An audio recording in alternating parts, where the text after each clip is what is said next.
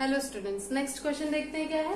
If log x minus Y upon two is equal to one by two bracket में log x plus log y तो हमें prove करना है X square plus Y square is equal to six X Y कैसे करेंगे?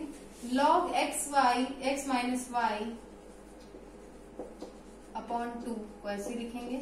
Is equal to one by two दोनों को दे देंगे तो क्या आ जाएगा? Log one by two log X plus one by two log Y तो यहाँ से हमें क्या मिलेगा?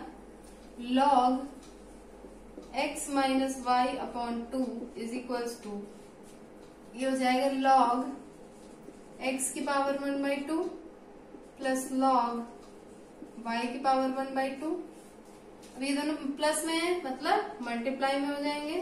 x minus Y upon two is equals to log x की power one by two into Y की power one by two log से log cancel x minus Y upon two is equals to under root X Y ठीक? तो अब क्या करेंगे? To को उधर भेजेंगे तो x minus Y is equals to two under root X Y ये आ गया.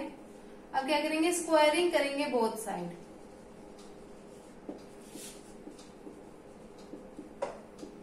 squaring both side करी तो ये हो गया एक्स माइनस वाई का whole square is equals to two का स्क्वायर और अंडर रूट एक्स वाई का स्क्वायर तो ये आ गया X square plus Y square minus two X Y तो ये हो गया फोर एक्स वाई ठीक? X square plus y square minus two x y इधर गया प्लस टू एक्स वाई हो गया four plus two six x y जो कि हमें प्रूफ करना था।